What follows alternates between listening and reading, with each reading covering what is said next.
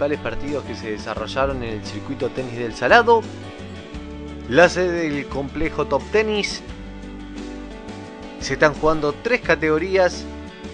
Más 45, intermedia y tercera. Vamos con algunos de los encuentros. Poiseibú de Navarro le ganó al jugador eh, de Matei de Lobos 6-0-6-1. Oscar Donati, representante de General Las Heras,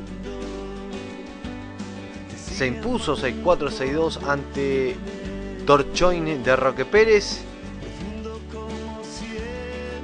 Este partido correspondió a la categoría más 45, en tanto que en intermedia Tenca de Navarro se impuso 7-5-7-5 ante Martínez Randonea. Buena victoria de Tenca.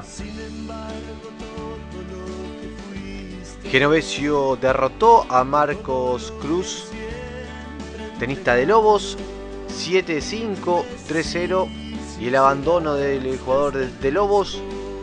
En tercera división Bresciano se impuso 6-1, 6-2 ante Salvatierra.